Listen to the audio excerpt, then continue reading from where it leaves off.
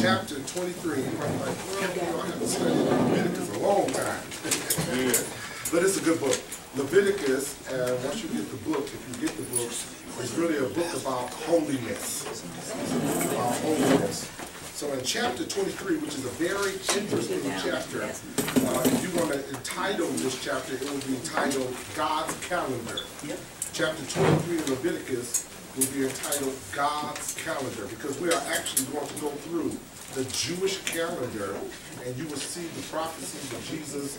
You will see how these, this calendar relate to Jesus Christ. Um, and I always tell people and uh, born again believers this: when we when we study the Old Testament, remember this: uh, the Old Testament is relevant today. And you say, well, how so? How is the Old Testament relevant today? Uh, when we read the scripture, you, you'll get to it. You're going to read the scripture where it says that all scripture is given for correction, for reproof, right? For building up. So all scripture refers to all 66 books of the Bible. So we have to look at it all. Now, what do all the books of the Bible point to? Every book of the Bible point to Jesus Christ. From Genesis to Revelation, it, all of them point to Jesus Christ. So if somebody pulled up the book of Isaiah, Jeremiah, what are you trying to find in there? You're trying to find Christ. And what, uh, how do those scriptures relate to Jesus Christ? We are now in the book of Leviticus. Now, just to let you know, Sunday school, so what's going to happen in Sunday school starting this Sunday, I'm going to go back because uh, we already done it at our previous church. We went through Genesis, Exodus, Leviticus um, already. But I'm going to go back to Genesis in Bible class just when I teach. I'm not going to teach every Sunday, but the first two Sundays of every month, I will teach Sunday school. So I'm starting, I'm going to teach straight to the Bible, so I'm starting Genesis. So starting this Sunday, I will be in Genesis because we have already gone through. But in Bible class, we're going to start with this book and then we're going to go from chapter 1 to Deuteronomy, and then all the way straight through the Old Testament. We're going to do it that way. So everybody can go verse by verse. So chapter 23, I love this chapter. I'm glad I already went through it, so I, I can give you a whole lot more insight than when I went through it the first time. God's calendar. So God is in control of mm-hmm. everything in history. That's the number one thing we need to understand about God's calendar. He's in control of everything. There is nothing that is going on in this world today that God is not in control of. Nothing. Everybody's steps are ordered by God. Amen? Amen. So you know that the Israel Israelites had a weekly Sabbath. Now somebody tell me, and I, you know I like to ask questions, so you can raise your hand. And if you don't understand anything, I am not preaching, I am teaching. That means you can raise your hand and stop me. Say, uh, Reverend, what are you talking about? Please stop me, because I can get on, not go on a roll, but I will, I will stop if I see your hand, if anybody has any questions. But please let your questions stay on the topic that we're talking about. Amen. Okay? So we can get some material. We only have, we only have an hour to go over the material, so uh, let it pertain to the lesson. So let me ask you a question. I like, I like asking questions, and you can answer me, and then you can ask some questions too. When is the Sabbath day? When is the Sabbath day?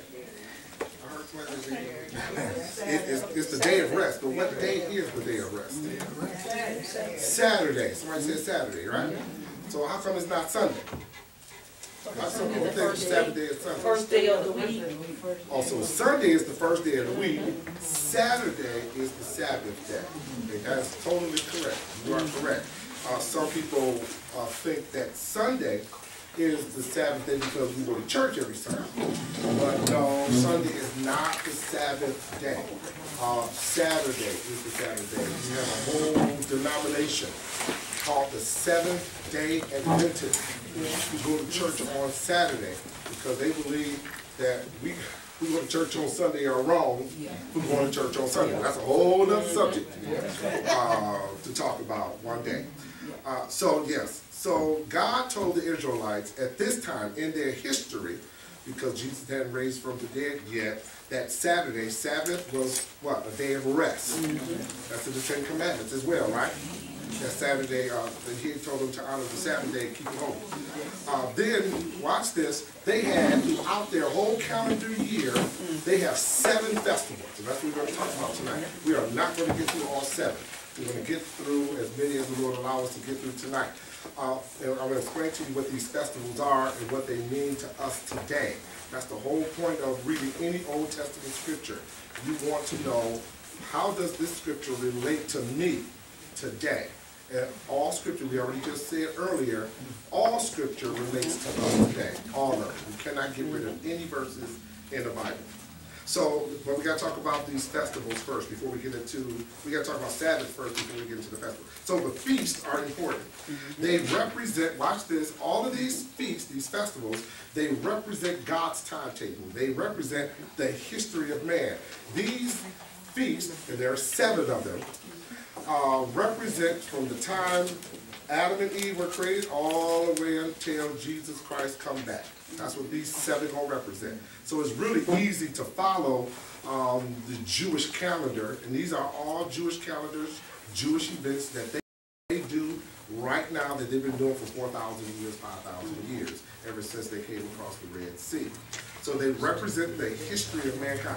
These are not just mere holidays that they observed uh, just for holidays' sake, like when we have our holidays, most of our American holidays are really closer to the weekend. So we can have our barbecues, you know, that's why, that's why we have our holidays. Y'all notice that, don't you? They either, all, most of our holidays fall on it, theirs don't.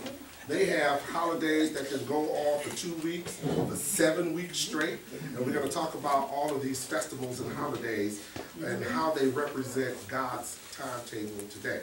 So Israel feasts were given to teach them this profound truth, how to stay close to God. He gave them these seven feasts, these seven holidays, these seven festivals to teach them how to stay close to Him.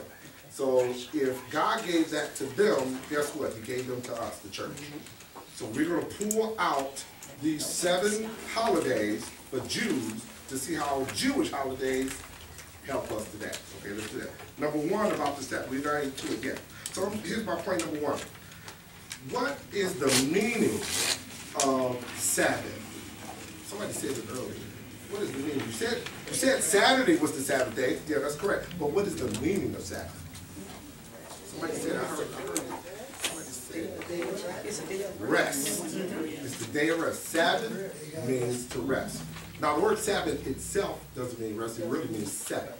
But uh, but that is the day we call the day of rest. God called it because He created the world six days and rested on the seventh day or Sabbath day. So Sabbath really means seven. That's the number seven. That's how you say seven in Hebrew. Sabbath. But we call it rest because it was the day that God rested, right? Right. Uh, uh, so let's get started with Leviticus 23. Let's look at the first three verses. I'm going to read from, just to let you know, and I read from the Old Testament. Um, I read from different versions of the Bible we call uh, paraphrase Bibles. And you can write these Bibles down. Some of you may have them. Um, I really like them because they help us with our English today. The Living Bible is one Bible you can read from. So I know most of you had your King James Version. Now, the reason uh, I don't uh, read out of the King James Version, because they do have a new King James Version. The reason I don't read out of the King James Version is because when you read out of the King James Version, it is 15th century English. That's how they talk 1500 years ago. So you let me know if we talk like this. Whence comest thou? Do we talk like that? I know it. So you got to understand. That sound like Romeo and Juliet, don't? Right? Yeah, no, we don't talk like that today. So we need to talk and read material that really is close to the way we talk today. The New King James Version is that. So if you get a New King James Study Bible, that's a good Bible to get. I have the Bible that I use, a study Bible, because you know, you have, you have some just other Bibles, but you should get a study Bible. This is the uh, John MacArthur Study Bible I have, which is, I've been using for twenty years now. So this is an excellent book. There are many more good study Bibles out there, but the Living Bible is a good translation. It's not a study Bible, it's just a translation. Yes, yes. I see Oh, I was just asking, what about the NIV study Bible? In- something? Uh, There's a lot of questions about the NIV. I don't use the NIV because there's a couple of passages of scriptures that the NIV has changed. Okay, So yes, uh, and that would be a study by itself. So I don't rely on the NIV uh, study Bible. and which one that you say you have there? That's, uh, that's the John MacArthur study Bible. The NIV has taken out passages of scriptures from the King James Version Bible. And the reason they have done that is because they said that it's not found in the original text.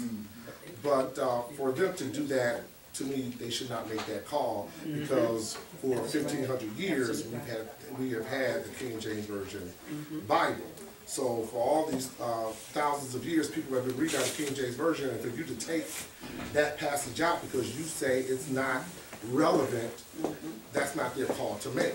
So the New King James Version Bible does not do that. They do not remove anything from the King James Bible. They don't do it. They just update the English for you. So the Living Bible, which is a really updated version, like 20th century version, the way we talk, is a good, uh, just Bible to read. I'm thinking of another one. Uh, which one we use? Yes. How about the Holy Bible? Well, which one, because the Holy Bible, is that can be any Bible, but Okay. the version of I got it. Holy. Anybody got another different King version of the Bible that you read? Amplifying Bible. The Amplified Bible is another Bible. Uh, Gotta be careful with the Amplified Bible a little bit, because the Amplified Bible can get a little confusing, because this is what Amplified does. Amplified, when you try to read, they they have all these uh, parentheses. And try to have you change the words in parentheses. So when you're trying to read it, you kind of get lost in it. So I kind of stay away from uh, Bibles like that, yes. Yeah, what about, um, I remember, was, ooh, I don't know, about twenty, about 10, 20 years ago, and, and when I was, uh, really studying, like, uh, I started, started studying, and I, I picked up a, a parallel Bible, cause it had like four or five of them, so you could piece them all There are, yeah, the Parallel Bible has four versions. They may have the NIV in it, the King James, the New King James, the Living Bible. So those are good because you're looking at every version. And you can see what they take out from the King James. You can see that right there from that Bible. That's a good Bible. Got they have uh, two parallel. You do King James, New King James. They got so many Bibles out there. But so. But those three, I'm just mention the ones I like again. New, uh, John MacArthur Study Bible, uh, the Living Bible. Uh, the Message Bible is pretty good. I don't know if you guys ever heard of the Message Bible. Uh, the Message Bible is by Peterson. Peterson was a pastor for twenty-five years and he retired and he began to take all of his sermons and, uh, go through the Bible and put that in current of the English of today. So that's another good study Bible to read from. Yes. Just, um, just so I'm not confused, the New King James is by John MacArthur, the one that you. The study Bible, yeah. You can get it, I think you can get John MacArthur Study Bible in King James, New King James. And I've always had Yes. the King James Bible, study Bible. I've always That's a had good that. one. That's a good I've study. always had that, and it, every time you read something from the New King James or, um, the Living Bible, it has a, a, a number, you know, To go to, yes. To go to it, and it's right in the column. So, And yeah. it's, it's the same word that you use. Yes, and so instead of doing that, this for thirty years. yes, and so instead of, uh, people have to go find those words, some translators just put it in their translation. See how you have to search for it? No, it, it- it's. It's in your right. notes. It's, Right. right, it's right there next to the word. Right, and that's good, column. and that is a good study column, In Bible. order. Oh, that's good. But what some Bibles have done, translators have done, they just took all that away and said, I'll just give it to you. So when you read it, you just read it right out. Instead of looking at- off across to find the word that they're trying to change from the King James. So that's, that's pretty good. So I think those are pretty good. Other Bibles, one more Bible, I think the New Living Translation. Oh, yeah. New Living, that's another one. That's a really popular study Bible. The Living, not the New Living, the Living Translation. That's another good popular Bible there. Okay, so I'll read from the Living Bible, verse one through three, Leviticus twenty-three, and it says this, the Lord said to Moses, announce to the people of Israel that they are to celebrate several annual festivals of the Lord, times when all Israel will assemble and worship me. Verse 3 These are in addition to your Sabbaths, the seventh day of every week, which are always days of rest. Always underline days of rest. In every home, times for assembling to worship and for resting from the normal business of the week. So God set up these Sabbaths. Every Saturday, number one, was supposed to be a Sabbath, a day of what? Rest. Right? Um, then God says, I'm going to create some holidays for you, and these shall be other Sabbaths, like weeks of Sabbaths, of days of rest. So on holidays, you're supposed to rest. That's what, you- in other words, that's what you're supposed to say. So one, uh, when you talk about the seven-day week, uh, when we talk about resting on the Sabbath day, what that teaches us is that we should rest one day a week. We should be resting, but you know society, they want you to work 60, 80 hours a week, right? That's Monday through Sunday. Some people work Monday through Sunday. But God said, no, you should be resting at least one day. One day you should have a day of rest from your work. Now, watch this. Some people thought, as I, when I was growing up, that that Sabbath day, once again, was Sunday, right? So on Saturday night, they would tell us, you can't cook, you know, you know, so you gotta do everything on Saturday instead of Sunday, right? Remember, not- remember the stores was closed, remember that? I remember Nothing was open on. Sunday, you couldn't drink on Sunday, Yep. you know, probably had your liquor on Sunday. But yeah, you couldn't get it on Sunday, because the stores was closed. Y'all remember that? Gambling was closed. You couldn't do nothing on Sunday. They had the wrong perception. That's not what God is talking about when he say rest. He says rest from your work, rest from your job, rest from your forty-hour week job. You need to rest. That's what he's going to run into that again. Uh, write this down, Genesis, I'm going to read it for you. Genesis two, verse two and three. This is from the New King James Version.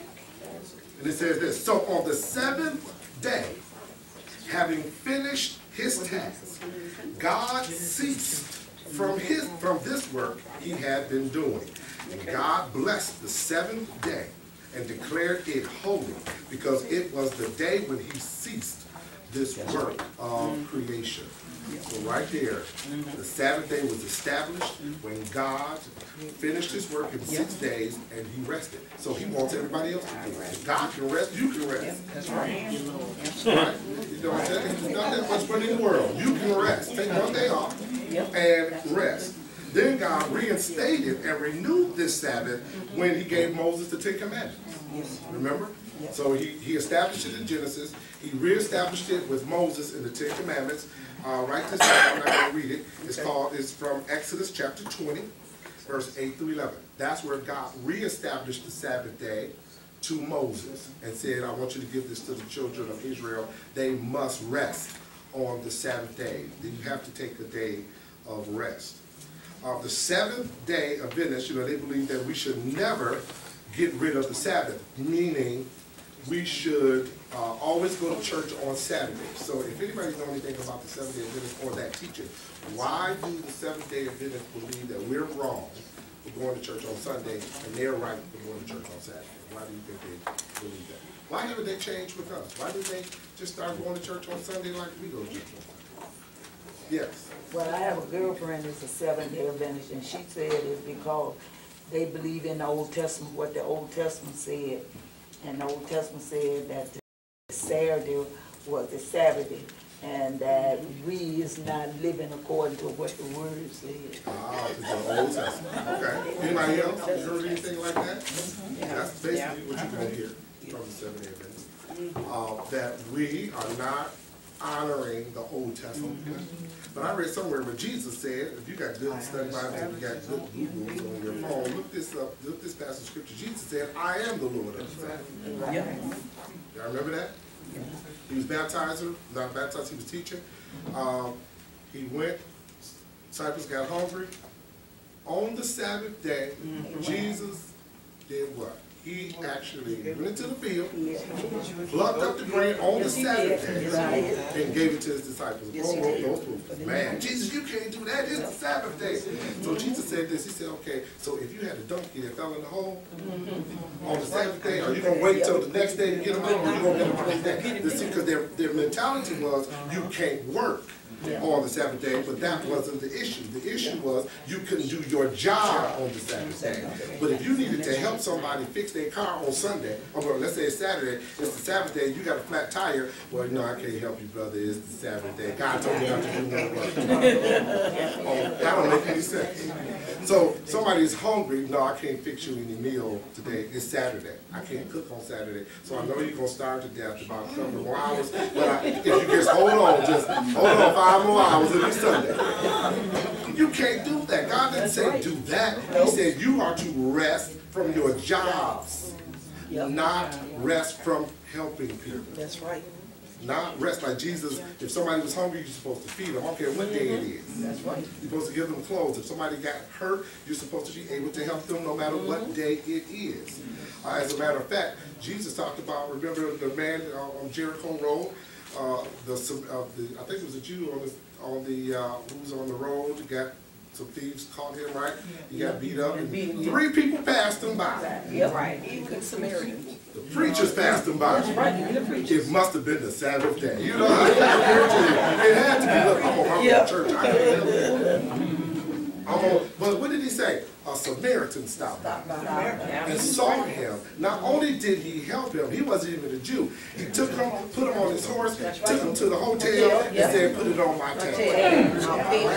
Now that was a Samaritan. He did that on the Sabbath day. But church folks, you know, we get caught up in our tradition, and we try to say, well, you know, I can't do anything because it's my tradition not to do it. I'm gonna throw one at you. Watch this. You're on your way to church. Somebody call you up real quick and say, listen, I got, I need some money. My kids need a pair of shoes. Uh, and if, and if I don't get these pair of shoes today, uh, look, they won't have any to go to school on Monday. So listen, could you give me forty dollars? And all you got in your pocket is your tithe money. Oh, I just messed you up now. You got your tithe, you, this is Sunday, it's your tithe money. Yep. And they asked you for forty dollars, and that's all you got is your tithe money. Yep. Give it to them. You don't get, I take it to the church. No, I'm. Jesus talked about, this this up, Jesus talked about this, Pharisees and Sadducees also in Matthew, Mark, Luke, John. He said, some of you try to use as an excuse that the reason you can't give to the church is because, or give your money or your tithes is because, uh, or no, you try to use the excuse that you can't take care of your parents. Right, yeah. That you say that I need to take my money to take care of the church, and that's why I can't take care, give money to my parents to help them out. He said, that's wrong, you can't do that. Yep. If somebody is in need, that's where that money needs to go to the That's church. right. That's right. That's if they in need, right? Yep. So we have to understand that. That's when he's talked about Sabbath. Sabbath means rest from your work. Look at Colossians. So, uh, go to the book of Colossians, chapter two, verse sixteen and seventeen. Now, I wonder, did you know this was in the Bible? Because and while you're looking that up, let me go back to the Seventh Day Adventists. So the Seventh Day Adventists say we are wrong for going to church on Sunday. We should be going to church on Saturday. Why, how can we refute that? What can we say to a Seventh-day Adventist who tells us that we're wrong in going to church on Sunday instead of Saturday? I would say, What would you tell them? I would say the day of Sabbath is any day you set aside to worship God. So oh, Okay. what's this? What did you say, Sister Ty? Any day you set aside to worship God. Oh, So- Day of Sabbath. If you had to work on Sunday or Saturday, you can worship Him. So if they ask you, why do you go to church on Sunday, what would you tell them? Oh, yeah. That's a good answer. Jesus got up on the third day. That's, that's the main reason why we go to church on Sunday. But Colossians says something different. Uh, the New Testament, remember, it actually puts together and shows you what the Old Testament is all about. Remember, they all go together. You cannot get rid of the Old Testament. So what we have to do is, we have to make sure that the Old Testament matches the New Testament. Whatever interpretation you want to give, it has to match. So if a Seventh-day Adventist tell me I can't go to church on Sunday, then I have to go to Colossians two sixteen and seventeen. Now, it's gonna mess up with their interpretation. Yep. It's gonna mess, this, this, these two verses are gonna mess them up. Listen to this. So remember, keep that in mind. Uh, you doing it wrong. You, you not doing what God told you to do. This is what they tell you, right? The Old Testament says, honor the Lord, honor the Sabbath day, and keep it holy. Verse sixteen says this in Colossians chapter two. So don't let anyone criticize you for what you eat or drink. Y'all can eat, Yep. yeah, y'all can eat some ham. That's right. The Muslims say I can't eat the They said I can't do it. Leviticus, Leviticus eleven say I, according to Jewish law, I can't eat ham, Can't eat the pig, can't eat pork. That's what Levit, the diet of Leviticus eleven Yeah. says. Now, if you guys wanna go by the Old Testament, Jesus says, if you, if you wanna go by the Old Testament, that's fine, but you better go by all of it. If you miss one of it, you messed up all of it. That's right, you don't supposed to eat, according to Leviticus eleven, according to that diet, the Jews could not eat pork. They, they could not eat pork. Guess what else they couldn't eat? According to Leviticus eleven, they can't eat, uh, anything that crawled on the bottom of the sea. Oh, that's the catfish, that's your shrimp, Yeah. your scallops. Oh, Oh, you- oh, y'all, y'all messed us all up. You know, red lobster is in trouble. Red lobster is in trouble now. Verse says, verse sixteen, so don't let anyone criticize you for what you eat or drink, or, watch this, for what, for not celebrating Jewish holidays and feasts or new moon ceremonies, or what? Sabbaths. Verse 17, for these were, here's the reason, for these were only temporary rules that ended when who came? Christ came. They were only shadows of the real thing of Christ himself. So guess what the Old Testament point to? The Old Testament points to Jesus Christ. Mm-hmm. They are types and shadows of who Jesus really is. And that's why I mm-hmm. told you, when we read the Old Testament, we're looking for Jesus in those chapters. Mm-hmm. We're, we're looking for the symbols. We're looking for, well, how does that connect to what Jesus did? So that's what the Old Testament is used for. We do accept all the, the precepts of the Old Testament. We do accept all of the morals of the New Testament, but can't nobody connect you to any ritual, because we don't kill pigs, we don't kill animals today to, for the forgiveness of our sins anymore. Why? Jesus died on the cross. So that, that whole system has been done away with after Jesus died on the cross. So do we get rid of the Ten Commandments? No, because they are moral laws as well. Just go through the Ten Commandments, one, except the uh, Sabbath day. The only reason we say the Sabbath day is because Jesus is the Lord of the Sabbath. So you honor him when you accept Jesus as your Savior. So when anybody say, well, you guys don't honor the Sabbath day, yes, we do. We honor it every day because we place Jesus in our life because he is the Lord of the Sabbath. But any other ten, other ten, the nine, you can follow. It's not telling you anything that is a ritualistic form. out of your father and thy mother, that your days may be long, right? Don't kill, don't steal. Uh, the first commandment, uh, thou shalt not uh, take any graven image, right? Right? You should not worship any other god but me. Oh, of course, we can keep that. So you got to look at the precepts and the moral precepts of the Old Testament. That's what we keep. But we do not keep rituals at all. So they told me, you know, you can't wear cotton. You know, they couldn't mix cotton with this other material. They, there was a whole lot of material that they could not do uh, in the Jewish community. But that was just for them. But we were supposed to take those symbols and understand what they represented for us today. That's what we're doing right now. So any questions about that? So now you know what the Sabbath day is. So what does the Sabbath point to? We just read, write, write this down, Hebrews 4. I'm going to read it for you. Okay. Uh, Hebrews 4, verse 9 through 11. I'm going to read that. So what do the Sabbath? So I give you scripture to go with it. So there is a full, complete rest still waiting for the people of God. Verse 10, Christ has already entered there. He is resting from his work, just as God did after the creation. Did you hear what he just said? Mm-hmm. When Jesus died on the cross, the scripture says he went, chapter 10 of Hebrews, he went to the Holy of Holies and sprinkled his blood on the mercy seat there. Mm. And then after that, guess what he did? He sat down next to the Father. That's where Jesus is now. So, you know, when you hear people say they have dreams and visions that Jesus came to them, and, uh, or they saw Jesus in a pancake and all that kind of stuff, yeah, no.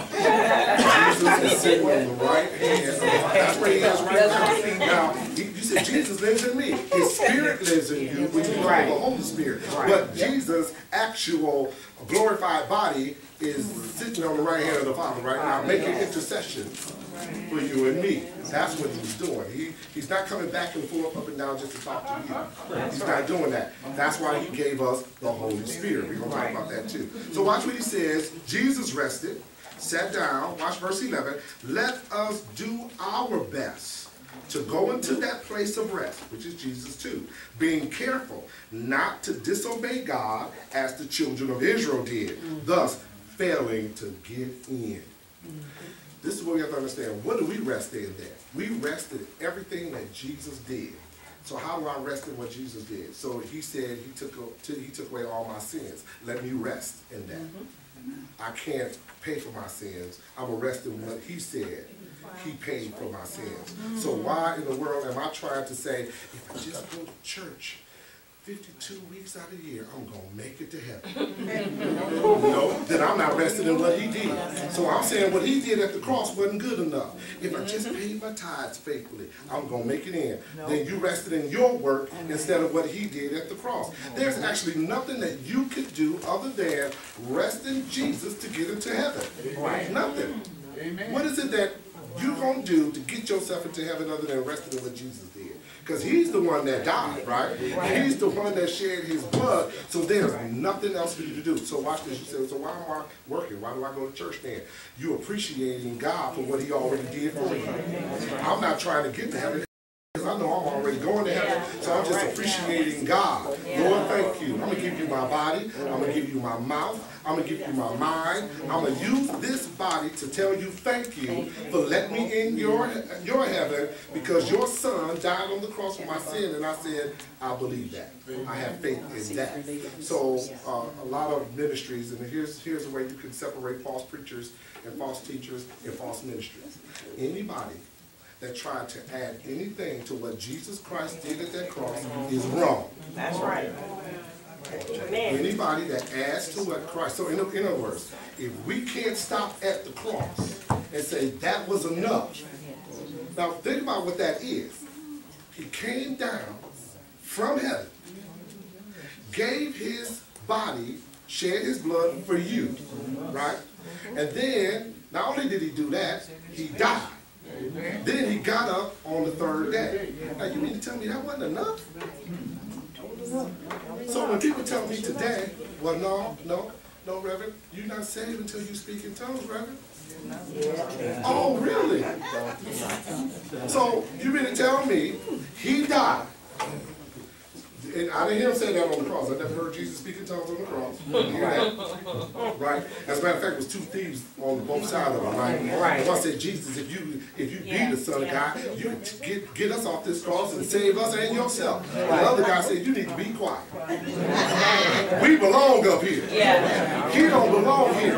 And, and he says, and Jesus looked at him, he said, Jesus, when you just, Jesus said, listen, today you shall be with me in paradise. I didn't hear when they spoke, well, you gotta speak in tongues first. I never heard that. Mm-hmm. Jesus never said that, right? So anybody that add anything to the cross is wrong. Let me give you a couple of groups. Jehovah's Witnesses. Uh-huh. They take the world's translation Bible, which is their mm-hmm. translation of the Bible, and they also change scripture. So they're adding mm-hmm. to the cross, meaning they're telling you that what he did at the cross wasn't good enough anyway, that uh, you do have to work your way into heaven. That's what the Jehovah Witnesses do. And if you didn't know it, and you watch the Jehovah Witnesses as they go out and witness, they out there in the rain, sleet, snow, right? They out there, they you say, oh, look how dedicated the Jehovah Witnesses are. I mean, I wish, I wish Christians were that dedicated, but their, watch this, their motive for being out there all four seasons is not the right motive. This is what they're told. If you don't get so many people into this church, you ain't gonna make it in. Your interest into the kingdom of heaven is based on how many people you win to Christ. That's what they're told. But watch this, okay? They tell us only 144,000 go to heaven. That's right. Uh, it's 7 million Jehovah Witnesses in so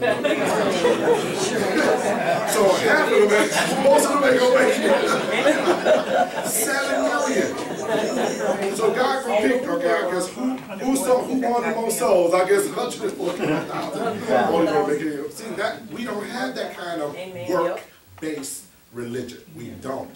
We say you can't work your way to heaven at all. We say that you only go to heaven by your faith in what Jesus Christ does. So let's go back to the tongue talkers. So I run to some tongue talkers, and they tell me that I'm not going to heaven because uh, I don't speak in tongues. That's your apostolic churches. Uh, Greater Grace is an apostolic church. Yep, beautiful church, right? Beautiful. Yep, but yeah, they believe if you don't speak in tongues, you ain't gonna make it in. Pentecostal churches are uh, churches that teach uh, that you need to speak in tongues. Now, some of them won't go, won't be as dogmatic and say you won't make it in, but they will say this. All of them say this. If you don't speak in tongues, you don't have all of the Holy Ghost. Yeah, Reverend, now, when you gave Jesus your heart, that was 10% of the Holy Ghost you got. But see, when you start speaking in tongues, you really gonna have all of the Holy Ghost. I said, really? So when Jimmy Swaggart in 1987, who, who spoke in tongues more than you all, uh, stood up and said he was caught with a couple of prostitutes, what was his deal? But he was speaking in tongues. I thought it, so I, I got 10% of the Holy Ghost. He had 100%. I would think that his lifestyle would be more different than mine Yeah, That's right. if he had all of the Holy Ghost and I only had 10%. So that didn't fly with me with the 10% stuff. So, and they don't go with the scriptures because now you're telling me that my salvation is not good enough or Jesus, what he did at the cross wasn't good enough because now another work I got to do to get to heaven. I thought I got to heaven because of what he did, not what I did. So you got to remember that. So you got to what? Rest in Jesus Christ. Uh, Jesus said this, write this down, Matthew 6, 25 through 33. He's talking about resting. 25 through 33. I'm going to read it for you, you write it down.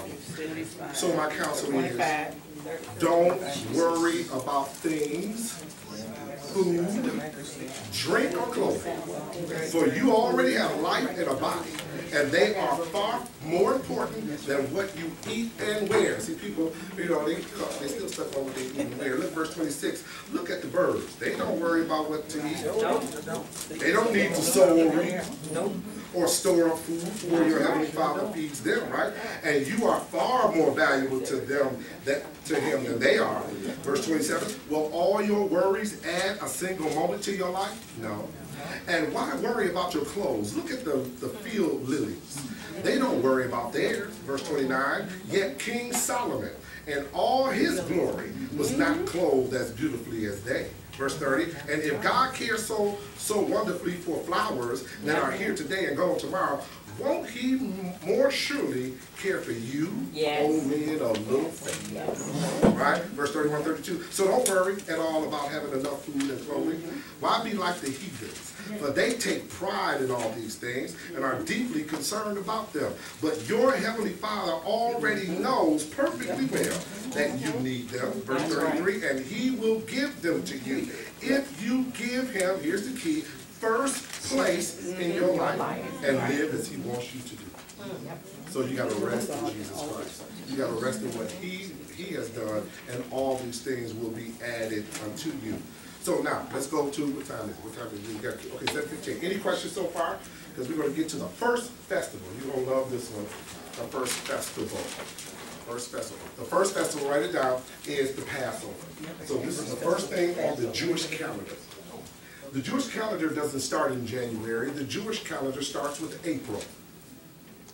Okay, just remember that. It always, they, their, they, New Year starts in April. This is festival or holiday number one. You wanna call it a holiday, let's call it holiday number one. It's the Passover. This is a spring holiday, right? Because this is April, April time, which is the beginning of the Jewish year, God's calendar. So in Leviticus, let's find it in Leviticus twenty-three, verse four and five. Let's go to Leviticus twenty-three, verse four and five. So God created this festival for them, this holiday. He said this. These are the holy festivals, verse four, these are the holy festivals which are to be observed each year. Now, verse five, the Passover of the Lord. This is the number one. This is to be celebrated on the first day of April, beginning at sundown.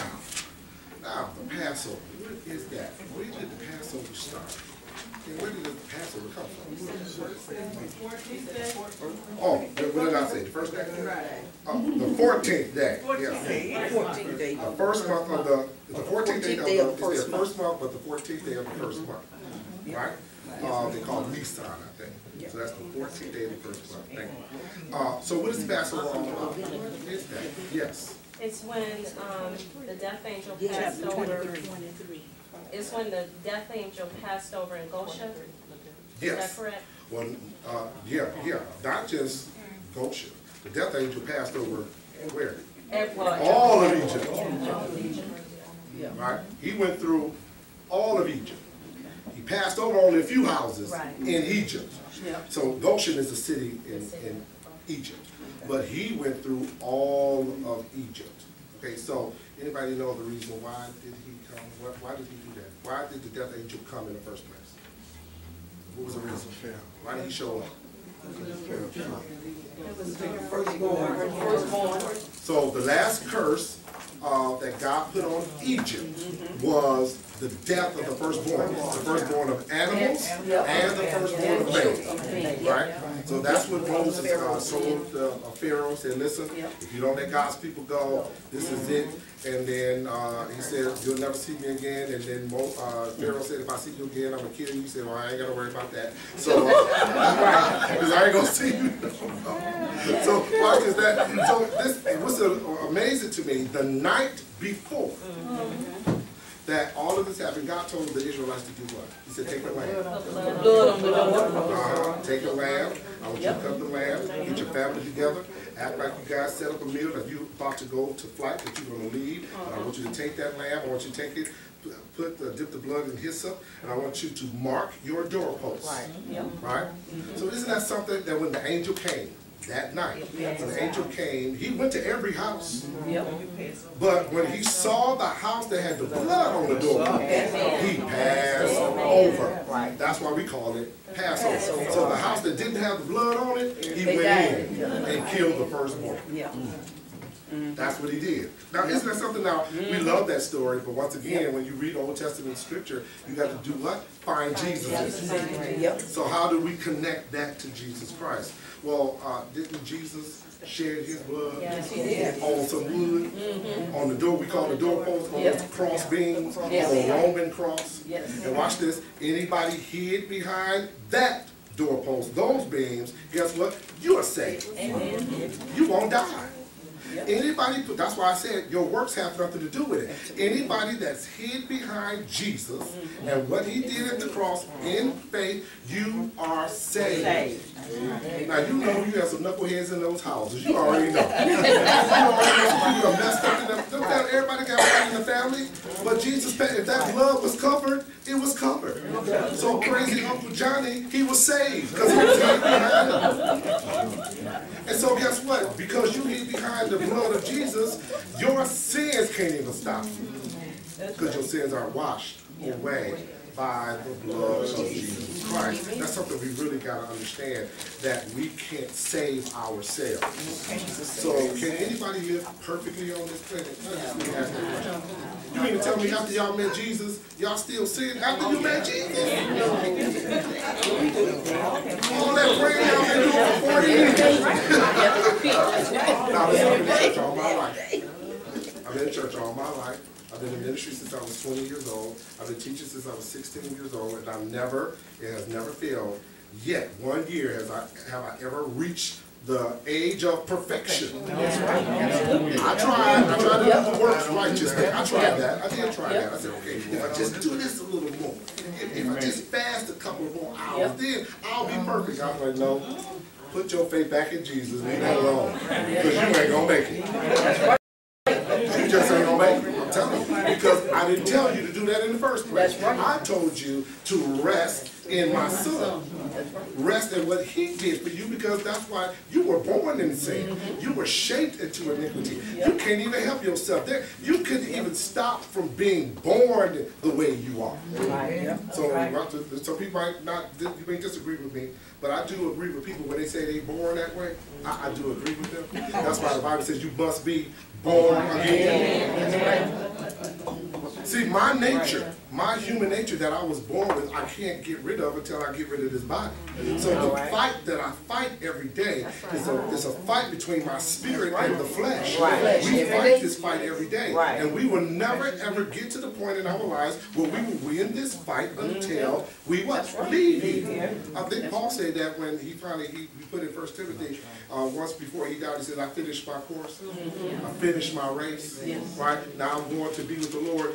We are fighting every single day. When we get lazy and say, oh, I know the Bible, oh, I know everything about God, that's where we're going to fall, right there. That's right. That's where we mess up, right there. I don't care how many years I've been preaching, how many years I've been studying, I have to study the Bible every day. I gotta pray every day. I gotta still stay in God's word because the devil is waiting on me every single day. He wants me to mess up, he wants me to fall. So guess what? The Bible says, uh, James said this, he said, you got to know how to fight the fiery darts of the devil. You got to know how to do that every single day of your life. So watch this. We need to keep our faith to Jesus. So the Passover. Now you know what it is. The Passover uh, is when the Egyptians left. You already know that. And you know your Passover is when Jesus died on the cross for your sin. Let nobody tells you that you have to do anything but faith. You are saved by faith through grace. Nothing else. You can speak in tongues till the cows come home. Guess what? You still ain't gonna make it in. If that's what you think gonna keep you to get into heaven. I'm telling you, you know, I've been to tarry services. I've been to, I was with the Pentecostal people for a while. Um, and I noticed how they ran their services. I've been to deliverance services. I don't know if anybody ever heard of this, deliverance services, where they actually think, some Pentecostal churches think that if you speak in tongues, if there's, you know, demons got to you, or if you throw up in a bucket, that's a demon, demon. Oh, I seen it all. And we gotta really understand that we walk by faith and not by sight, right? All right, any questions about that Passover? So you said the Jews, they still celebrate Passover. They Yes. don't believe that Jesus died.